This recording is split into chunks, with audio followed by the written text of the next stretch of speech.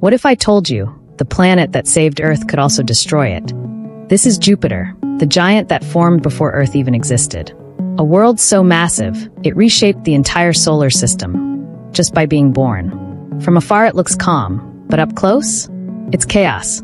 Storms bigger than Earth, jet streams faster than any hurricane. And the Great Red Spot, a storm that's been raging for centuries. Deep below the clouds, gas turns into metallic liquid, creating the strongest magnetic field in the solar system. Lightning stretches for miles. No spacecraft could ever survive down there. And surrounding it, a miniature solar system of 95 moons. Volcanoes on Io, a hidden ocean on Europa, and Ganymede, bigger than Mercury itself. Jupiter is our guardian, deflecting deadly comets, but sometimes sending them toward us.